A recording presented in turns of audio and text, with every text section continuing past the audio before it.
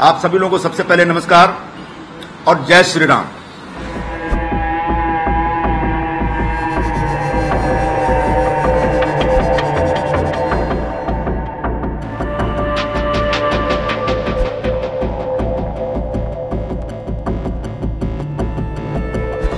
आप सभी लोगों को सबसे पहले नमस्कार और जय श्री राम। अब पूछेंगे पाँच पावर सेंटर कौन कौन से हैं और पाँचों के अपने कौकस है, पाँचों की अपनी लॉबी है। और पाँचों की जो लॉबी है वो आपस में टकराती रहती है, एक दूसरे को मारने में लगी रहती है।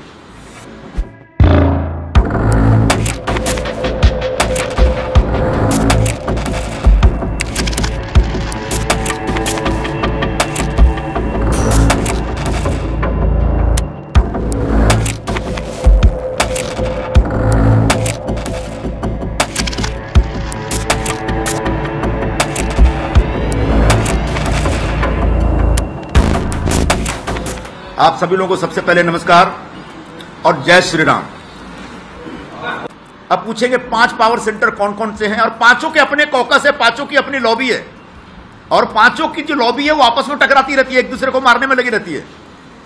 और उसमें बहुत सारे लोग, हमारे जैसे लोग, जो किसी भी लॉबी का कोई बाहरी हिस्सा नहीं है, वो अक्सर तकलीफ़ में रहते हैं और मैं अकेला नहीं, ऐसे लाखों लोग हैं, कांग्रेस पार्टी से जुड़े। तो जो पाँच पावर सेंटर है, उसमें सबसे पहले तो परम आदरणीय सोनिया गांधी जी का एक पावर सेंटर है। उनके आसपास के लोग हैं। दूसरे आदरणीय राहुल गांधी जी का भी एक अपना पावर सेंटर है। उनके आसपास भी एक कोटरी है, जो अपनी दुकान चलाता रहता है। फिर बहन जी की भी एक अपनी कोटरी है। वो अपने ढंग से एक्सर्ट करती रहती हैं, अपना पावर एक्सर्ट करती रहती हैं। अध्यक्ष महोदय हैं।